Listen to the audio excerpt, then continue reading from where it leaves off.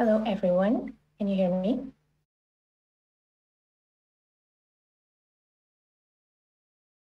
You just joined the room, so I just wanted to see if the host is around. So we can. Hello, yes, I hear you. Can you hear us?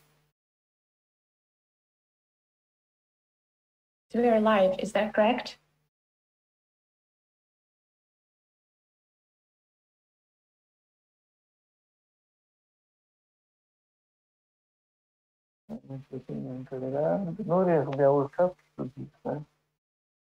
Okay, thank you.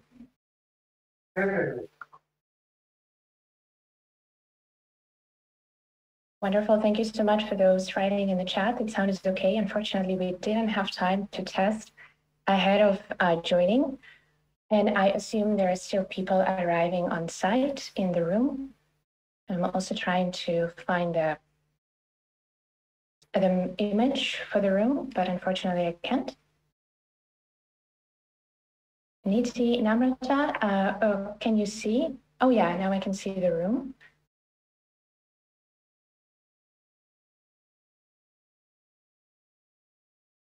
Okay, people are still gathering, I think. Um,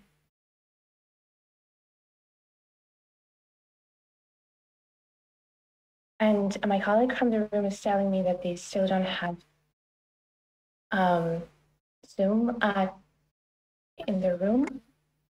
Can the host please tell me when we, we are live on site as well? Anastasia, one second. There's folks, folks, if you could please, if you guys could all go because we're starting our session now. Thank you so much. Or you can stay. Okay, see you.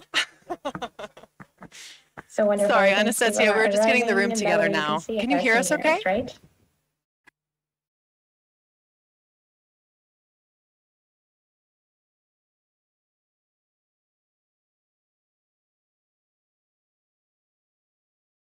All right.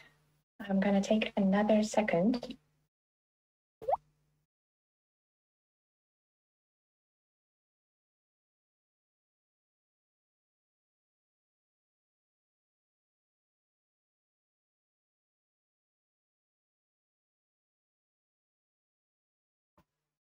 Hey, Hi, Mallory. Can you hear us and see us well? it's a we can see you, but it's a bit soft. Um, and yeah, thanks to everybody in the room. Sorry about the scheduling. It's it was just a miss um, I don't know, a missed schedule, I guess. So we're starting later than we thought. Um, and I think we won't go um, for the full planned 90 minutes. We'll cut it short so that folks don't lose their lunch break. Um, but yeah, I'll hand it over to you, Anastasia. Hopefully we can get the audio fixed. Okay. Um, okay, so I'm going to start, but please do let me know if the audio is still not working okay. I Um, think it's better now. I did some testing. Yeah.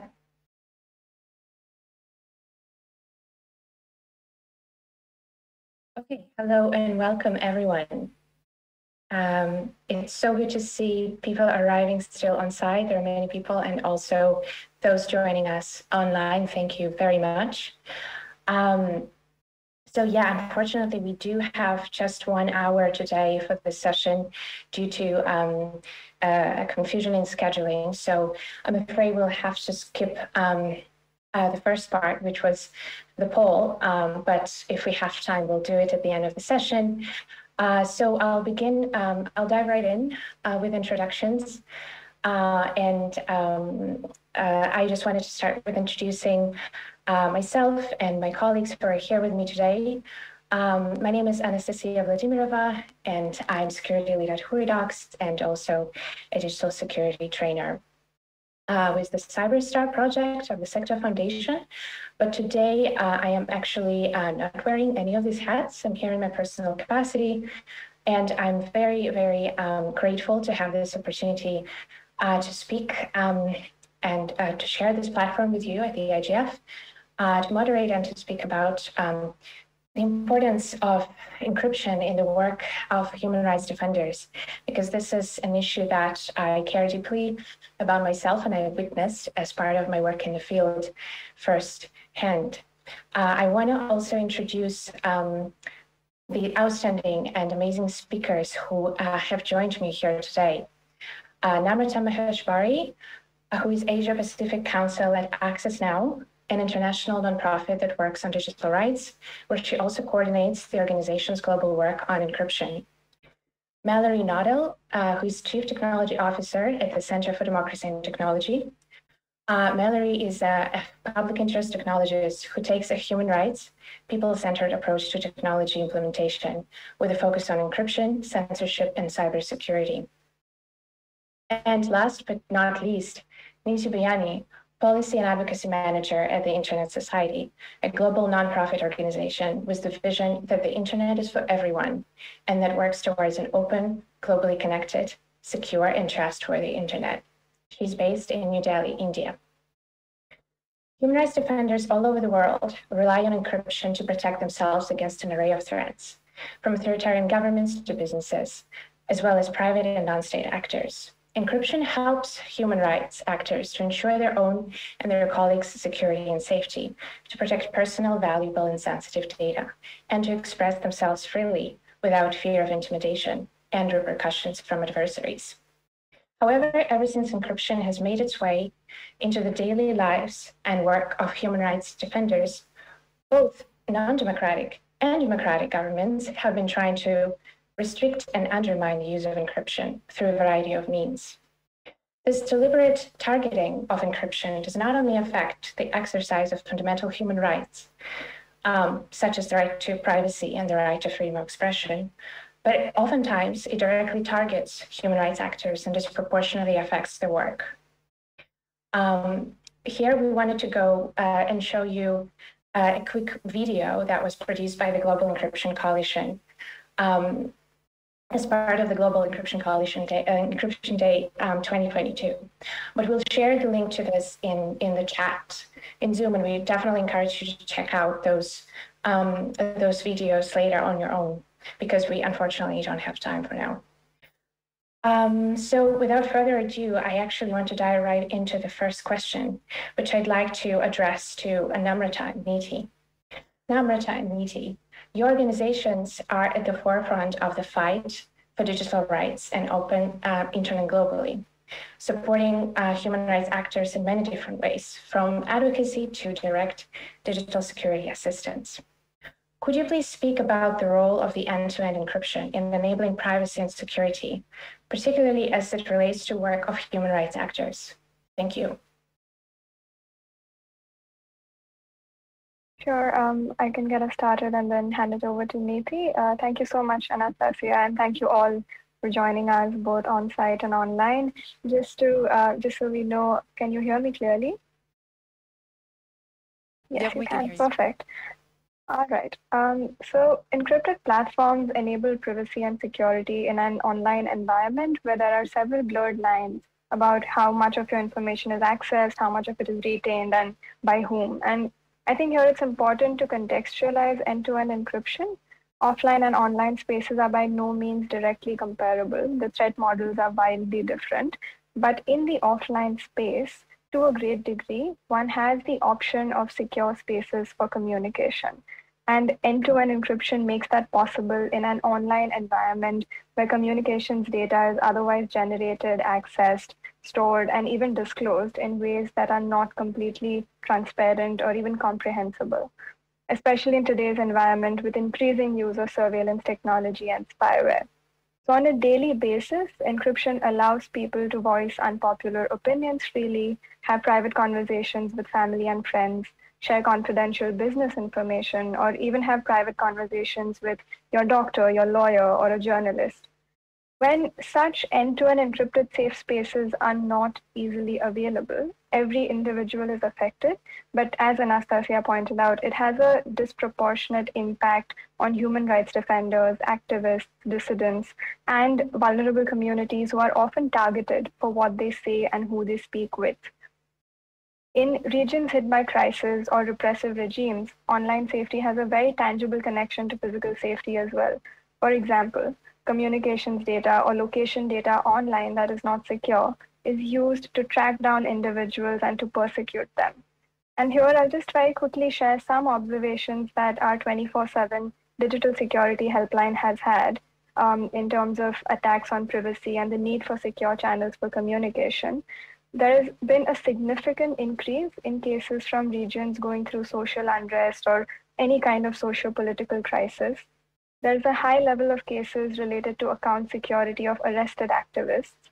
And they've also seen a huge increase in adaptation to encryption tools, especially from civil society and human rights defenders, and in the context of communication platforms for messaging and emails. This is true particularly in regions where there is a crisis of ind- independent media safety, for example. So, this tells us a bit about the kind of attacks we're seeing, the kind of people who are affected to varying degrees, and the need for encryption, especially in today's context. Neeti, over to you. Thanks, thanks so much, Namrata. Um, you know, very much like uh, what Namrata has already laid out for us. Um, you know, if if I were to add or draw a parallel between, you know, what an end-to-end encrypted space would look like if, you know, we were physically imagining it, it would be two people standing on a very isolated hill somewhere, you know, where there could be nobody to listen to their conversation, and they would be sure that there are no eavesdroppers, there is absolutely no surveillance, and there is no intrusion into that conversation.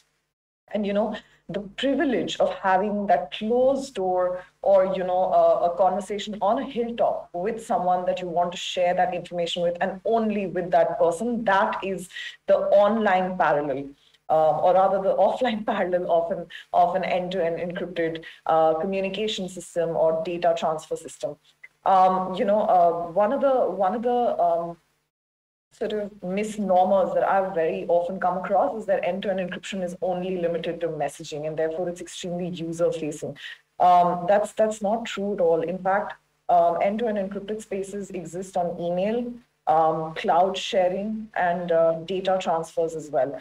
Um, and and you know, end-to-end encryption is very very closely connected with our physical safety. Also, it's the strongest digital security shield and the key to a safer internet.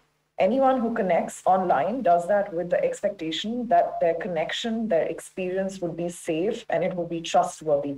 And encryption is exactly that security technology that, while playing a vital role in our day to day lives, many a times without us even realizing, you know, most of us take it for granted. Uh, the fact that our our transactions online, you know, or our ability to shop online would be would be encrypted and therefore our data or our transactions would be safe from anyone who's trying to malicious, mal- maliciously access those.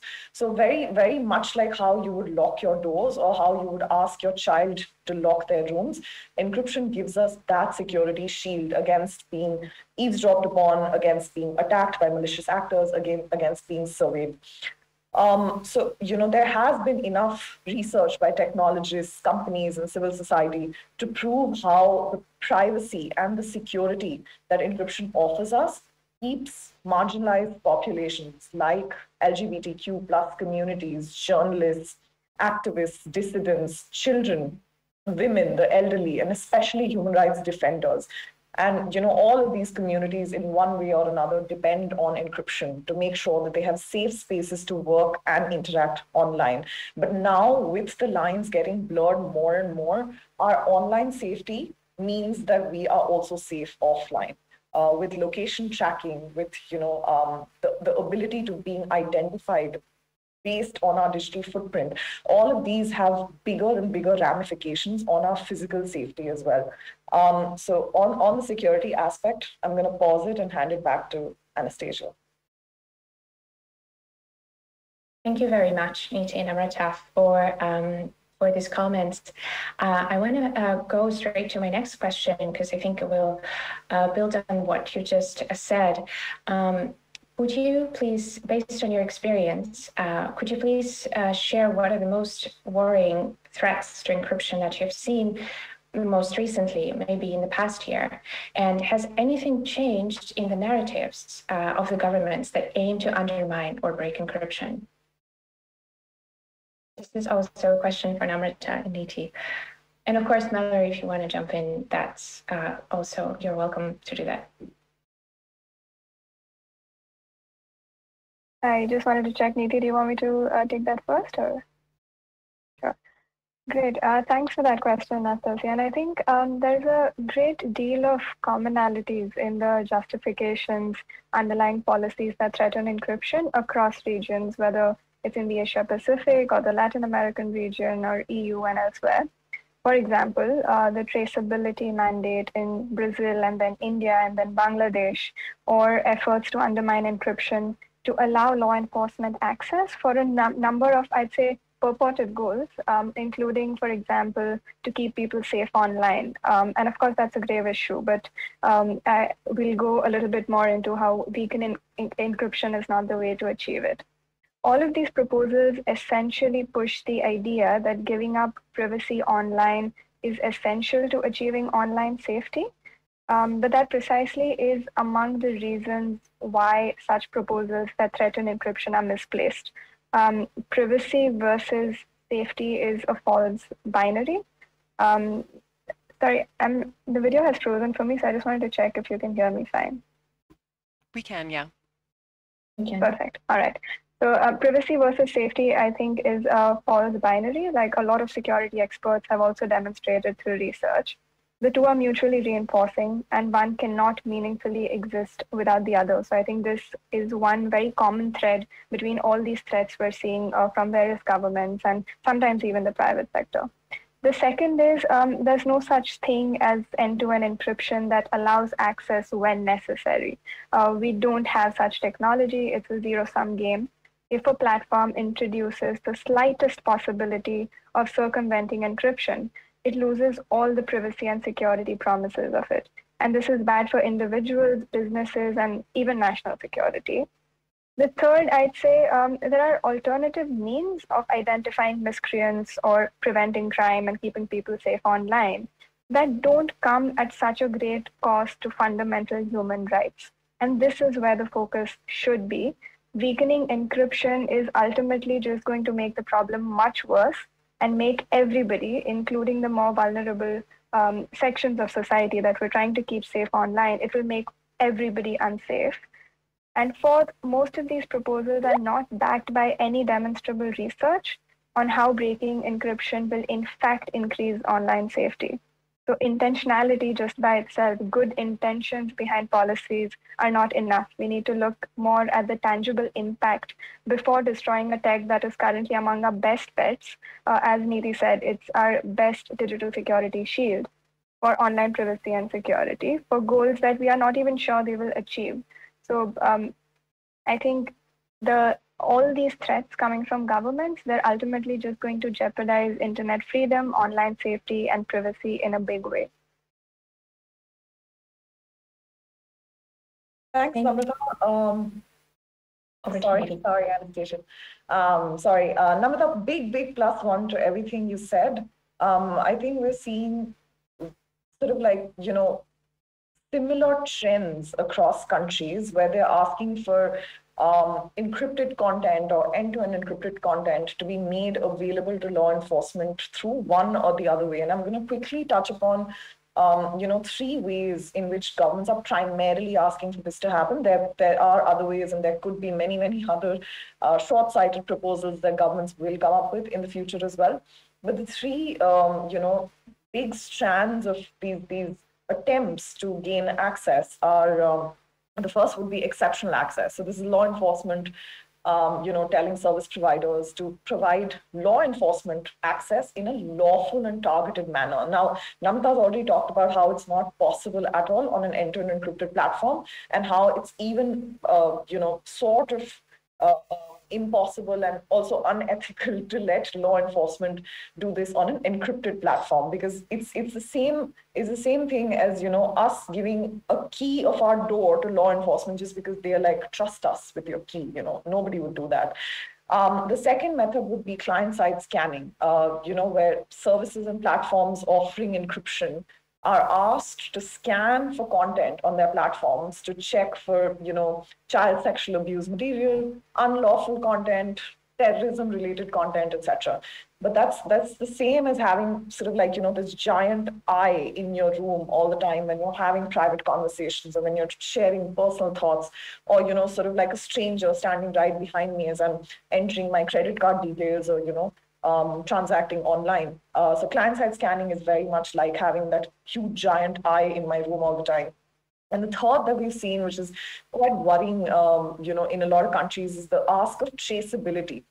So this is uh, this is this is law enforcement asking, you know, um, service providers again and platforms to basically be able to make the originator of a certain message or a certain uh, information, certain data on their platform traceable.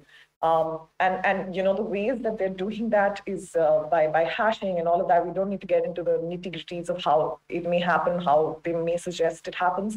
But uh, all three of these methods, as Namrata's already said, you know they they have one thing in common that they put the security of billions and billions of peoples and and nations worldwide at risk. Um, and you know whether or not this material is actually prohibited, whether or not this material is actually harmful, you cannot possibly go through everyone's content online to see and therefore catch criminals um, online. And just my last point before I hand it over is that there is absolutely no way for these security vulnerabilities, which governments are asking to build into platforms, to only then serve law enforcement purposes. At some point, the, the, the keys or these backdoors or you know exceptional access is going to become available to malicious third parties who will then find very easy, quick ways to be able to exploit these vulnerabilities.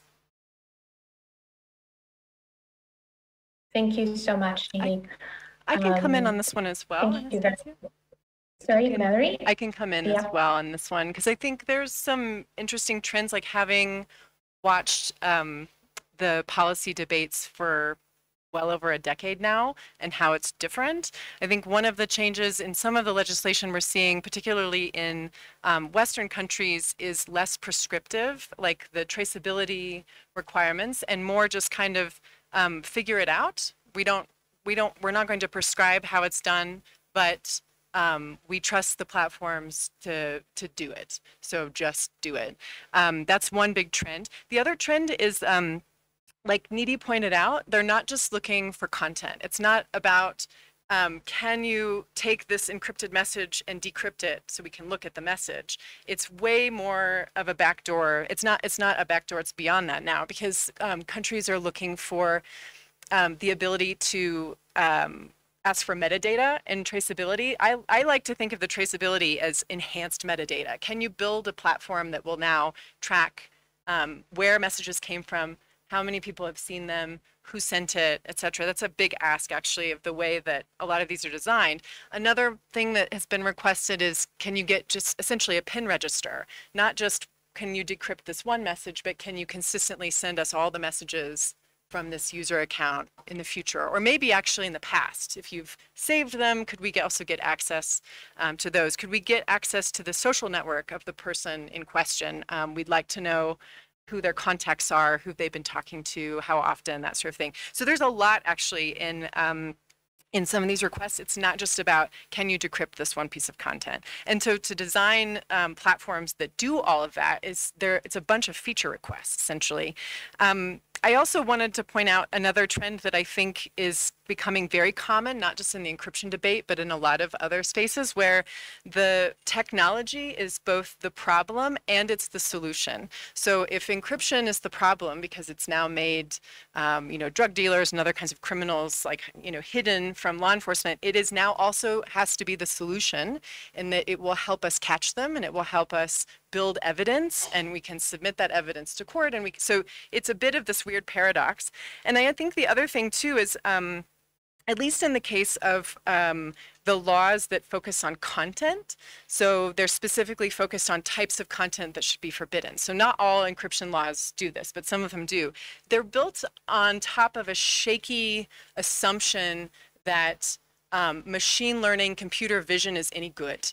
Um, and it's not really because we know that a lot of this, and this is go, goes back to a point Namrata was making before. We know that a lot of this objectionable, lawful, con- unlawful content, or lawful but awful content, is um, already on social media platforms that are not encrypted. It's everywhere. It's really hard to track and trace and take down. Um, and so some of the proposals for the technical proposals, for example, are to you know, instead of decrypting messages, maybe you could do some very fancy homomorphic encryption. I mean, I'm not going to go into the details, but like if you think that, you know, AI and computer vision and detecting this content is difficult now, wait till you throw lots of layers of, of strong encryption on top and it will not get easier. Um, and then lastly, and I think this is the other trend, um, is on the client-side scanning proposal. That is not just a proposal related to uh, messages or, or conversations. It's actually something that could affect um, our storage of, of content. So it could affect the content we have um, on our phones that we're not planning to send. It could affect the content on our phones that um, is maybe up, uploaded to a cloud, which often in, in modern de mobile device operating system happens automatically without a lot of thought by users. Um, and so this goes beyond also um, intent right to to share and distribute illegal content. It could just be um, sitting on your phone. So those are some things i think that hadn't been said before that i wanted to make sure we um, included in this discussion Thank you very much, Mallory, for jumping in. And actually, my I, I, did want to shift the conversation a little bit from the rights framework and the threats uh, towards a more technical angle that you already um, started doing. Uh, but my question for you, Mallory, was uh, if you could speak uh, about how encryption has shaped the architecture of the modern internet. Um, and then uh, after that, uh, how should the implementation and use of encryption continue to evolve? Good. So much more fun to talk about the positives, the positive framing of, of the use of encryption. So um, I think that we've um, come a long way. There's a lot more encryption um, pretty much everywhere. I'm not just talking about um, apps and, and messaging apps, but um, starting with you know transport encryption for um, accessing websites. It's now um, using encryption, which again has a central service, so it's not end-to-end encryption, but it's it's gone a long way, and it's been really important um, for the ecosystem and for human rights because it protects what um, users are looking for. It protects privacy. It also is a cybersecurity measure. There are lots of benefits to that, and that's been ongoing. There's been also um, efforts to then um, encrypt DNS lookup. So um, by leveraging transport encryption for the web, you can also do DNS lookups that way. It prevents not, it doesn't just keep uh, users private and um, data about what they're looking at. It also is a nice circumvention technique for blocks that use domain name blocking. So it has this sort of, so if I were to say, you know, one of the things that um, has been a, a, good trend is we've been able to connect the dots between, um, you know, censorship, circumvention, and privacy on on this um, with the the change, with changes to um, the modern internet. Um, to your point, and then of course, right, we've we've have this trend now of um, more end-to-end encryption, more um, encryption of content that we intentionally put in the cloud. Um, we use encryption now on our devices. So our devices themselves, when they're off or when they're at rest, um, are, are encrypted. Um, so it is, it is becoming more ubiquitous, and I think that has implications for the ways that um, now any sort of measures um, to either moderate traffic or to um, you know do other things on the network are really pushed to the edges. They're pushed to um, the ends actually where user devices exist, where the applications are, and that has a positive impact on um, users' ability to understand um, and control their data and to understand where it is because they can be more assured that while it's out of their hands and traveling to its destination, no one else can see it but them. So that's the idea, and I think those are some important things too. Um, and I think to your to your second question, um, how should it continue to evolve? Um, I think that it should just be um, more ubiquitous. We'd like to see more um, instant messengers adopt end-to-end encryption. There's been for many years a push to get Twitter direct messages encrypted. We'll we'll see if that happens or not, um, or if it matters.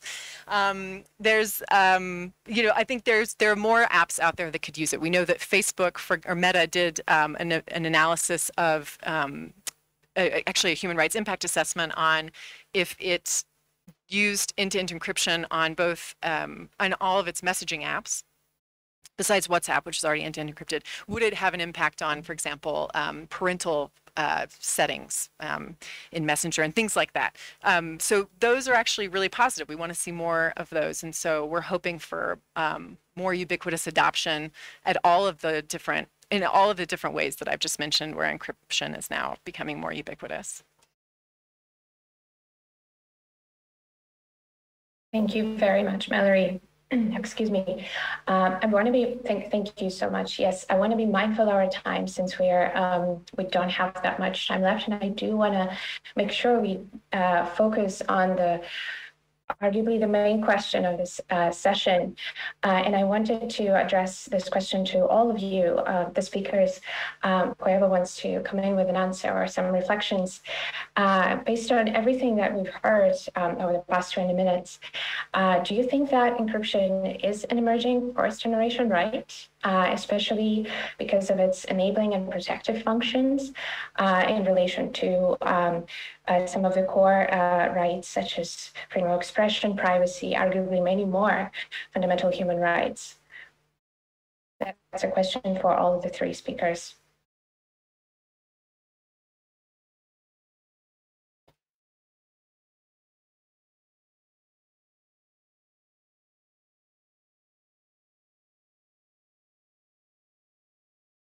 Namrata, would you mind starting?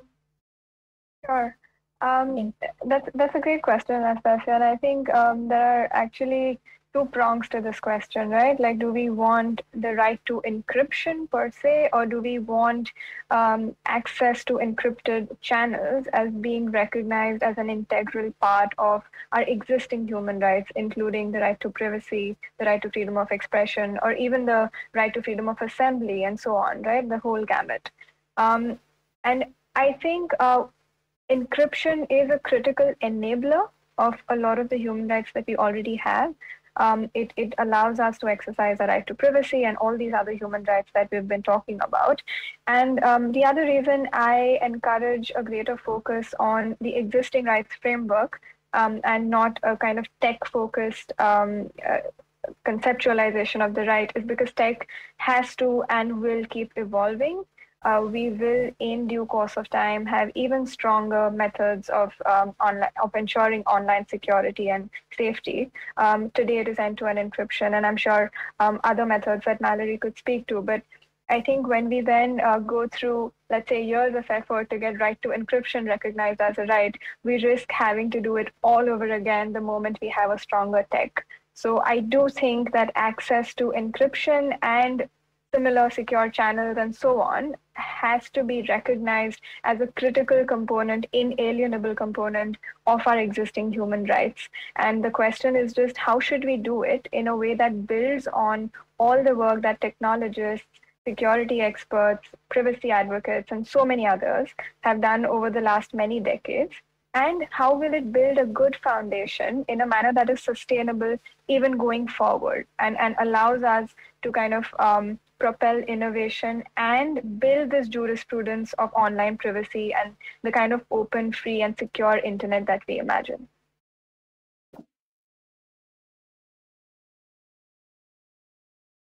Um, if if I could add to that, uh, um, Namrata, I I think um, you know tech for tech's sake, um, in my opinion, means little.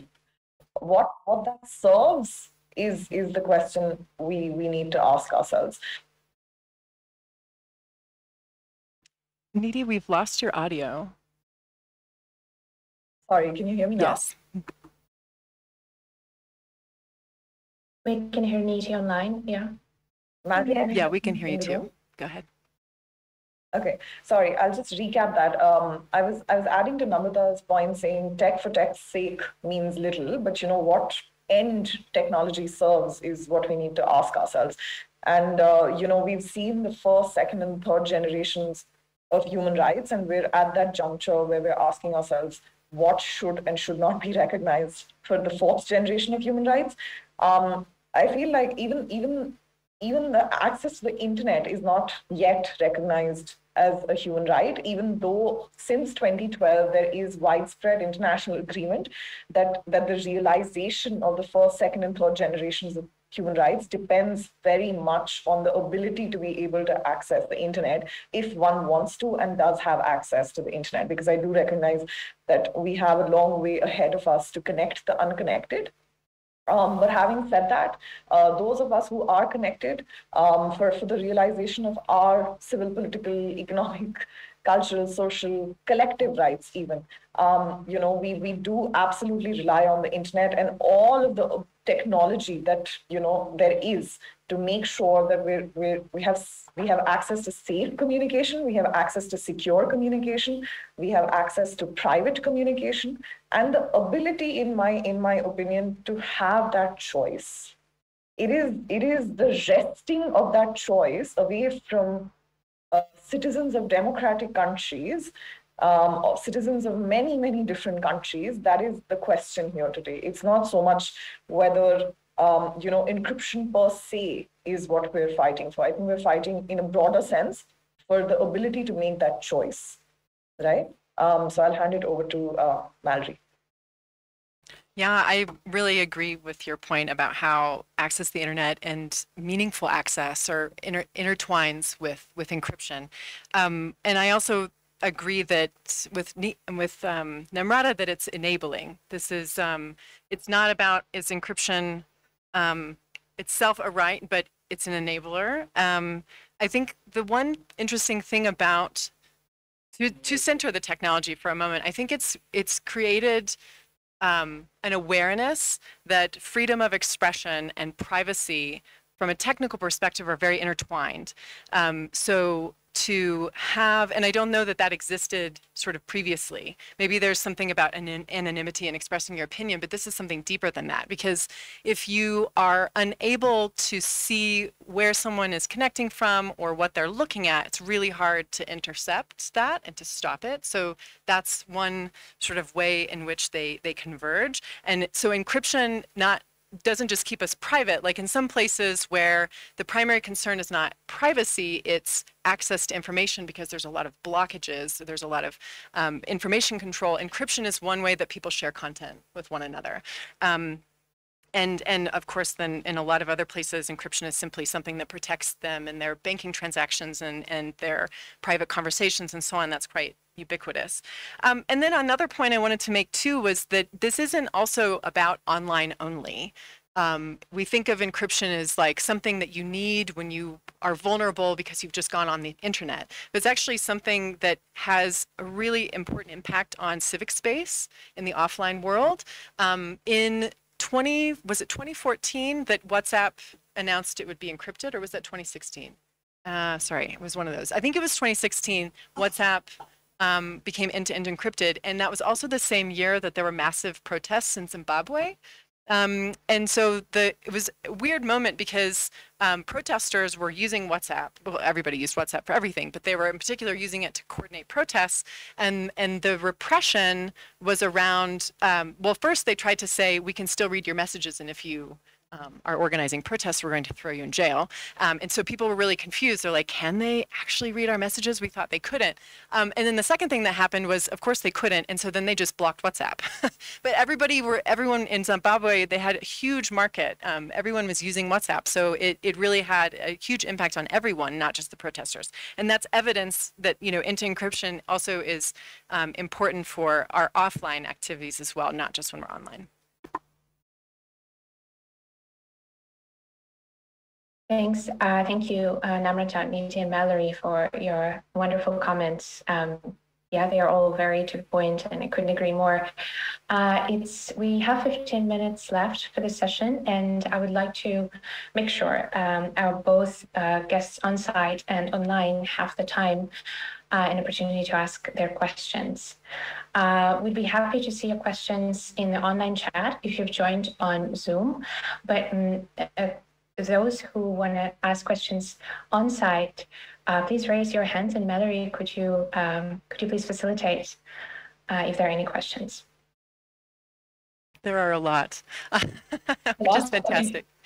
so maybe we could, I don't see anything, so sorry to interrupt you. I don't see anything yet in the Zoom chat. So maybe we can start with several online, I think, oh, offline, sorry. I think we'll just kind of do it toward a tab. We'll go in this direction if that works for everyone. Yeah. Sorry. Yeah.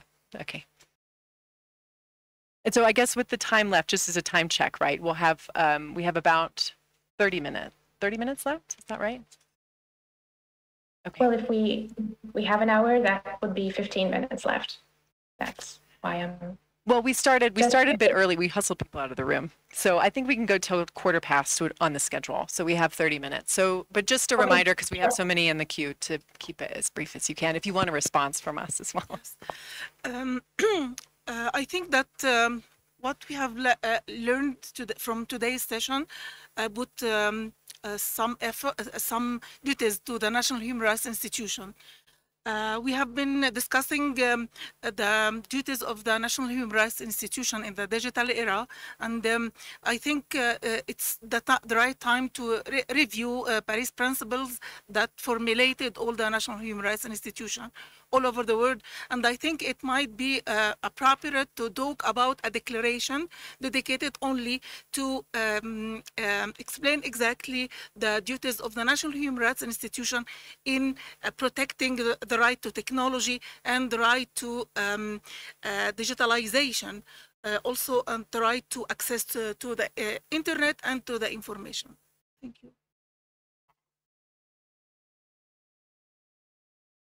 Thank you, panelists, for the wonderful uh, presentations. My name is Kian Vestinsson. I work for Freedom House's Technology and Democracy portfolio.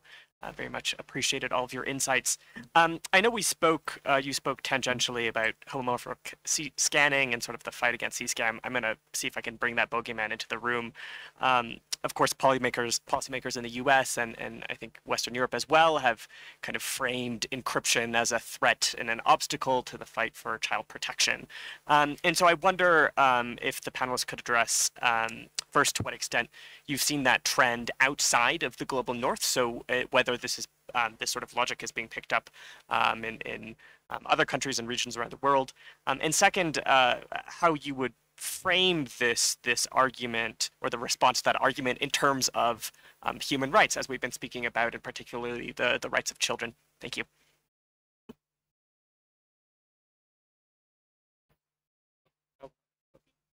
Sitting behind you, sorry. Hi, my name is Chris van Zol. I work with the Dutch government on foreign affairs. Um, first of all, the Dutch have a cabinet position from 2016 in which we clearly state that we promote end-to-end -end encryption and bring that up in discussions worldwide. That's something that we keep doing.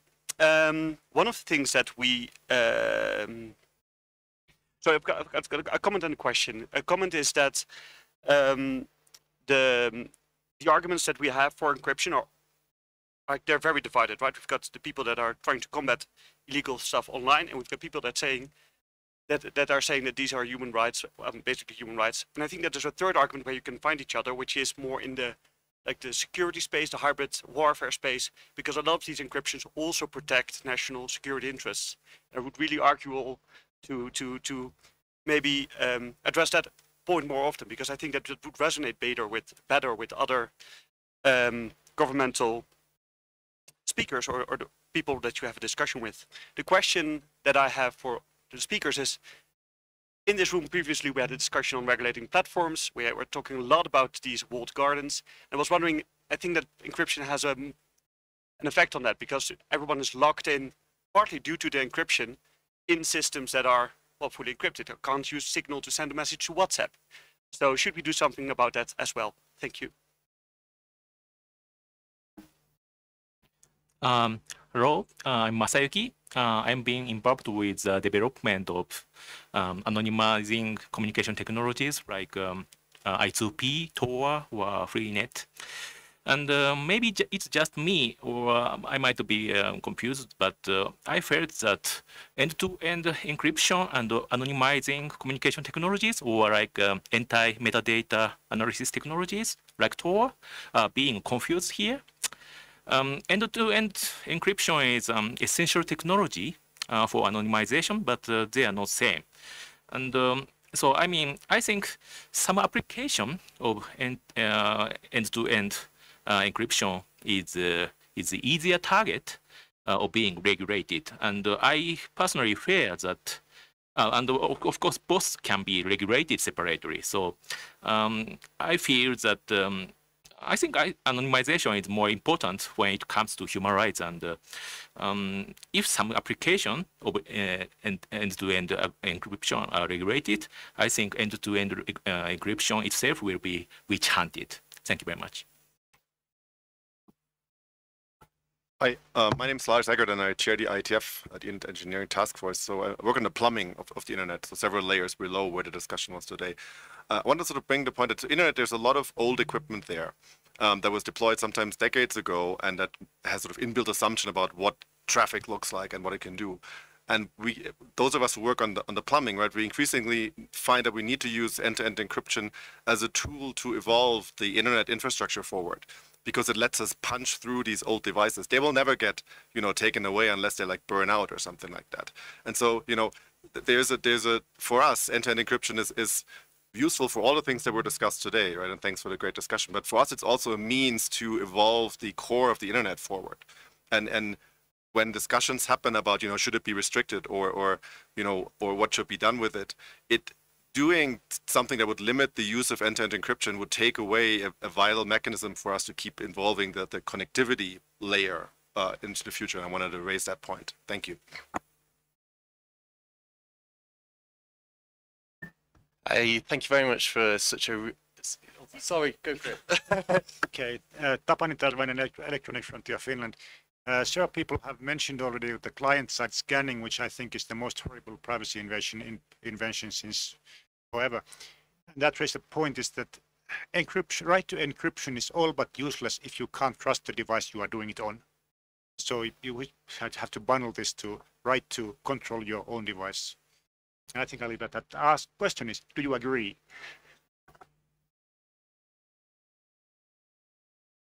Very sorry about that. My name's uh, Alex. I work in uh, the UK government in the Department for Digital. Um, so, like the Dutch government, the UK government is a very strong supporter uh, of encryption. Um, however, I think it is really important that we are, uh, are really clear-eyed about um, some of the issues that there are here. And I just want to illustrate one particular case that we had in the UK before coming to my question. So in 2021, uh, a British man was sentenced to a very long prison sentence because he had been conducting horrific child abuse of hundreds of hundreds of children online. Um, data and, uh, and messages which Meta were able to provide to the investigating officers were vital in securing that, that, that conviction. Had Meta um, implemented end-to-end -end encryption on all its channels uh, uh, before that point, that man would not have been convicted and would still be abusing children. So I think it's really important that we kind of have that child safety point in our minds and that, you know, uh, it's a very real issue. However, I think we can all agree in this room that end-to-end -end encryption is a good thing and child abuse is a very bad thing. So my question for the panel is, how are, are they are they sure that we have done uh, that that there has been enough innovation in this space, particularly around uh, the very specific question around tackling child abuse imagery uh, on end-to-end encrypted channels? Are, are we really sure that we've done enough to explore that issue? Um, obviously, we don't want to open backdoors uh, and create uh, and break encryption, but on that specific issue, are we absolutely sure that that that we have bottom that out. Uh, in the UK, we, we are launching um, a safety tech challenge fund, which is kind of uh, looking to explore this issue. Um, and I think it would be great if kind of more countries and bodies could explore this as well. But I'm really interested to hear from uh, the expertise that we got uh, on the panel. And thanks again for such an interesting, interesting discussion.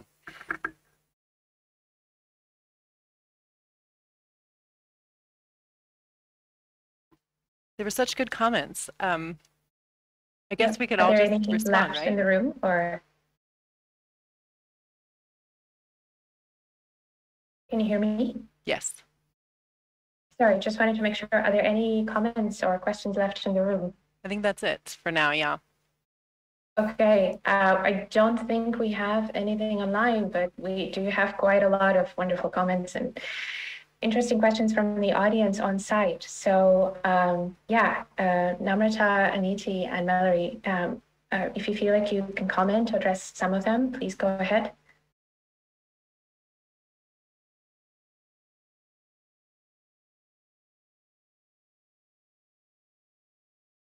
Yeah, I'm keen to have Namrata or Neeti come back in. If you want to go ahead and start, I think we could just answer sort of whichever questions we took notes on and stuck out for us. I could, um, sorry, Neeti, go ahead. Did you want to say something? No, I was actually just saying, could we uh, start with Mallory and then um, I could jump in and Namrata, you could as well. Sounds good.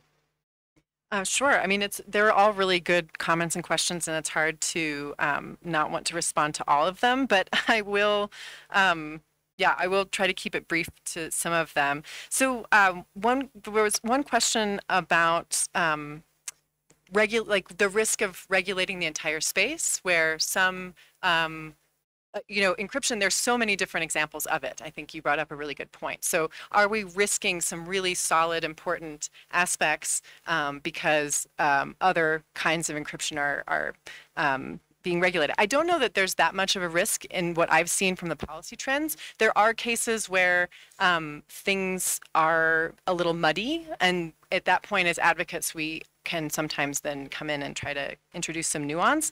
But I also think it raises the point that um, for for sort of end-to-end encryption, for example, that's been um, maybe slightly backdoored. I don't know if we can do that. I think it, it, there's there's something about um, uh, the national security element where it's almost like like no encryption would be better than weak.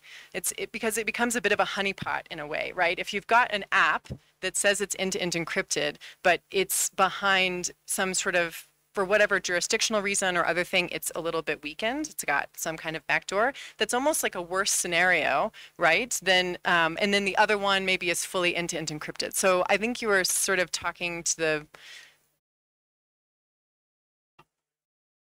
I think so. Yeah, that was the note. Sorry, I maybe took, I was just but, I, I, I, didn't articulate it well Right. enough. Apologies for breaking in. No, that's so my question is actually my, my point was actually that that so in the Netherlands, for example, we have a big tech company called ASML, which makes tons of chips, technologies, and la la la, and um, so we see that that there's more there's more interest into the IP that we have about about the process that we have, and we consider that as a point of national security, and we want to protect that. So if we would have some some form of chat secure or some form of client-side scanning, there's an easy abuse to be made by nation-state actors in order to hack those services. Because I mean, if the European Commission is going to provide some program for us that we have to implement, well, let's hope that it will be very safe. But but uh, at, least I mean, if it will be one, if it will be one program, it, it- it would be a, a clear, clear, clear target for for any nation-state actors, right? And that aspect, we could, I think, you could use that more often.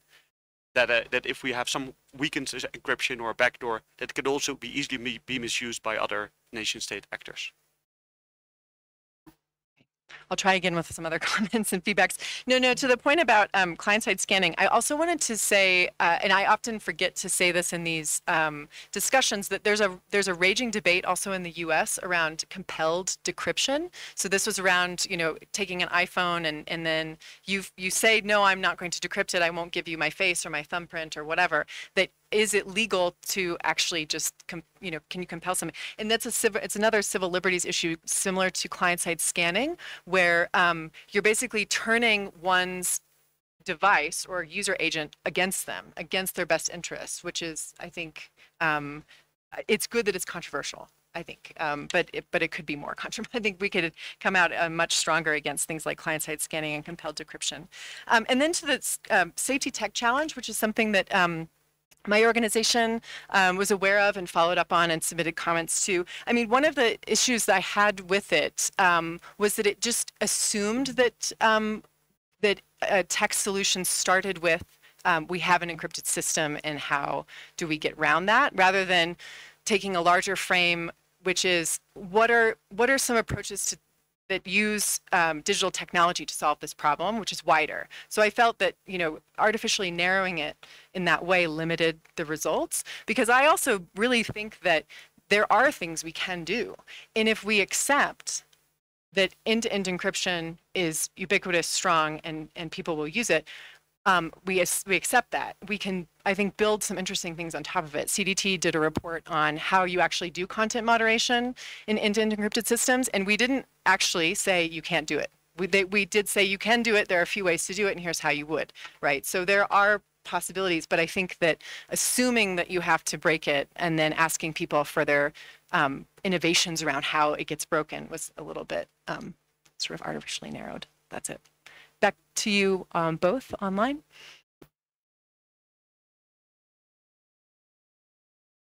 Thanks, Mallory. Um, I could, uh, there was one question about um, the approach in Global South, um, how encryption is being characterized and how sort of that characterization could be responded to. Um, so to that point, yes, there very much is that characterization of encryption posing a threat, um, of, of it creating this kind of dark space where law enforcement is not able to do their job. Uh, but I think a lot of the advocacy and responses have to also be tailored to the region, even though there might be uh, commonality in the challenges, right? So I think in terms of responses, um, some of the things that I think could work, one is to break the kind of polarization we're seeing, um, the kind which we I think touched upon a bit in our comments, the privacy versus safety thing. All of us agree that we need to have private spaces. All of us agree that there are terrible things happening both offline and online. They need to be addressed. So I think to break that polarization, to see that the goal is at the end of the day same and how to achieve it without undermining human rights. So I think first we have to kind of agree that the goal is the same and we need to have that conversation. Um, the second is I, I think there needs to be, uh, we need to challenge the disproportionate focus on the negative use case of this technology. Um, everything has a negative use case. And I think if we were to look at anecdotal evidence, um, there is also a lot of evidence on how because of lack of secure channels for communication, people in a lot of regions have been tracked down, people have lost lives. So um, I think just focusing disproportionately on one side will not lead us to long-term sustainable solutions that respect rights. It will be more of a knee-jerk reaction to something that we're seeing evolving around us. And as Mallory pointed out, we're all struggling to find that perfect solution. So right now, policies are just counting on tech companies to find a way to do it. So we need to come to that solution together, and admittedly, that is going to take some time. So that focus on just one side of the negative use case has to be changed. Um, the second, the third, uh, in how policies are framed, one should not have to count on the good intentions of law enforcement and government. The way it's currently done, we often hear the response that this will only be invoked in the rarest of rare cases. But the underlying problem is that ultimately uh, a citizen has to count on the government's good intentions. And even if they exist, the very point of policy making is to create principle based solutions that can prevent any kind of arbitrary application. So I think that kind of banking on good intentions and limitations that the government will place on itself is just not a good idea for the long term. And finally, I think uh, it's just again in terms of focusing on solutions there are alternatives there are alternative means of alternative means of investigating be it capacity building or or um, the, the kind of resources that mallory just mentioned. Cdt has done this report stanford had, had done a report and there's already progress happening in that direction. And this is a, this is an opportunity for all these various stakeholder groups to work together. How do we strengthen alternative means of investigation without undermining this important tool I can take a couple of others, but I'll just hand it over to Neeti first because I know we're also short on time. No, I just have uh, two very quick thoughts to add to what's already been discussed. Um, I think we've spent a lot of time collectively, you know, this panel talking about um, what encryption adds to our life, right, in terms of safety, security, and not just individual security. I think individual security is very much tied in with national security. Um, um, we've also spent a fair bit of time talking about privacy and you know how encryption, uh, due to its enabling nature, helps us all realize other human rights. So you know it's it's not just some some random technology that exists in a vacuum today. So if I were to take all of those conversations we've had, and and ask people in this room, um, you know, to apply the same logic to also children it's not that encryption serves adults and then misserves children. I think children are definitely safer because of encryption. I mean, children who have access to the internet and have the ability to use the internet to learn online or to or to um, you know interact with their grandparents or to play games, I think are safer because of encryption. And I think there's also been, you know, certain parent accounts, uh, uh, you know, who say, please don't make me raise my kids in a world without encryption because my kids are safer with encryption. Um, even when the whole uh, Apple client-side scanning uh, proposal had come in, uh, you know, one of the key questions that, that civil society had asked Apple is how are you so sure that the guardian or the parent that, you know, you're relying on to, to be able to direct a kid is the right person to do that? Can you as a technology company take that, take that guarantee? And, you know, very clearly Apple could not, right? That proposal was withdrawn. And, and just the just the last thing I will say is that these problems are societal they existed before the internet existed, and they will continue to exist in the future. But I think societal problems cannot have technological solutions alone. I think we need to find societal solutions for societal problems, and tech has a role to play for sure. But tech cannot be made the scapegoat or the ultimate sort of uh, provider of you know unilateral solutions in case of societal problems. I'm not brushing off the, the, the enormity of the problem. We're on the same team here, we're on the same side. But I'm saying we need larger, broader, multi stakeholder dialogues to tackle what is essentially a huge, huge societal problem. Thank you so much, Neeti. I want to um, ask Namrata if, Namrata, do you have any other remarks? Since you mentioned that earlier, or maybe we can jump into right into closing remarks. Also, if there are no other questions. Just very quickly, what uh, somebody said about um, encryption also being very crucial for national security and the need to push that argument more. Um, I, I, do completely agree. I think, um, as Mallory pointed out, a lot of it gets lost in just communications data and safety for particular types of individuals. And, and Neeti also mentioned how it serves the wider economy, it serves your government security, national security. So I think there are several prongs to it, right? And, and I completely agree um, as these conversations evolve, depending on the tables were at, um, to achieve that final goal, sometimes different arguments play different roles. So I just plus one to whoever raised that point. Thanks. Thank you, Namrata.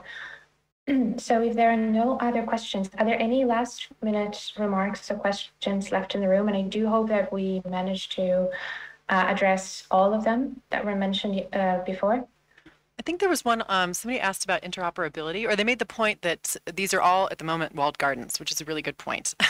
um, but I think there's um, effort around, in general, um, doing more federated and interoperable messaging based on the Digital Services Act, um, which will only apply to gatekeepers.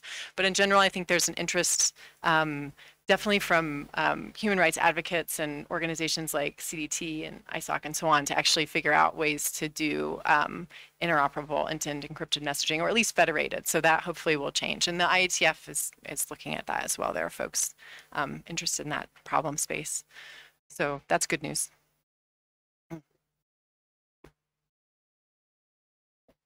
Thank you. So if there are no more questions, um, we might take a few minutes for closing remarks. Just a few, uh, a few remarks from each of the speakers would be great on today's session and on the takeaways.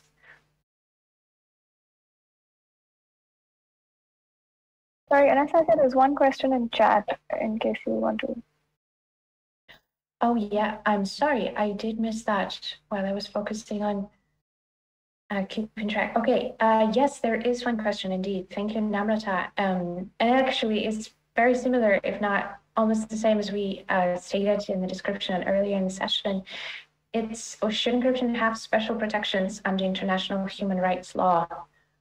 Um, yeah, it's an interesting one. Uh, maybe Namrata, you could address that really quickly and Neeti, or just a few comments because we don't have that much time left.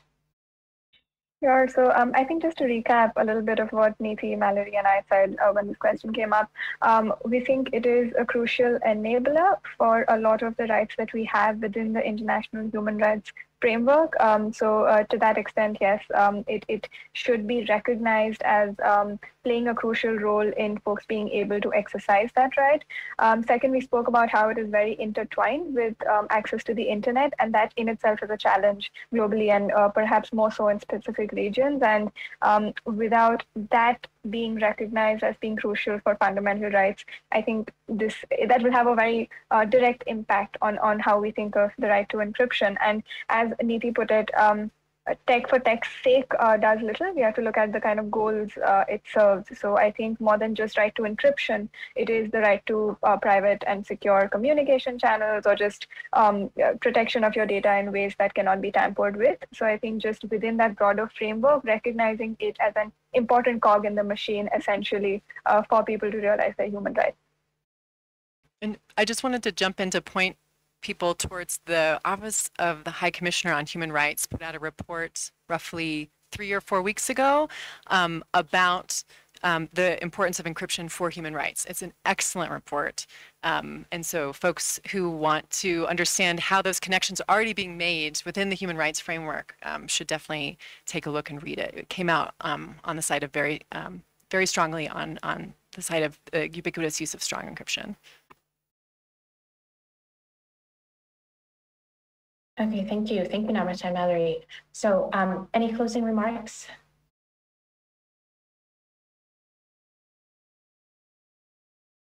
Well, none from me except save encryption. Um, I would just say in my closing that there will be another session about encryption tomorrow. Um, I don't have the schedule in front of me, but I believe it's in the um, first afternoon session. Um, it's a open forum or a town hall of the Global Encryption Coalition. So um, multi-stakeholder, but mostly civil society. There are some small companies and then academics and technical advisors that um, comprise this global group that focus on policy threats um, and also technical ones as well. So it's a really robust, it'll be a really robust discussion. So please join us there if you want to continue the discussion. Thank you so much, uh, both to the organizers, the moderator, panelists, and also everybody who's there. Thank you for being so engaged, for the fabulous questions and interventions. Um, I wanted to check if there is a way for us to get the resources that we shared on chat to the people who are attend attending on site. Yes, I just I just thought about um, that I can actually edit the description of the session and then I can post the links to the videos that we uh, all the videos, but and including the one that we wanted to show in the beginning that were produced by the Global Encryption Coalition to celebrate the Global Encryption Day. Um, I will um, edit the description so you can go back to the description of the session, see all of the uh, resources and links that were shared in the chat. Um, and yes, I just wanted to say thank you all for attending. It's great to see um, so many people in the room and also on site and uh, online. Thank you very much, Mallory, Neeti, and Namrata for joining me here today for this really important conversation, most importantly for your wonderful and brilliant insights. And I hope that we can continue having this important conversation, not only at the IGF platform, but also in our communities, uh, among multi-stakeholders, um, yes, to keep protecting the encryption. And um, yeah, thank you very much. Thanks, Anastasia. Thank you. Have a lovely day. Thank you.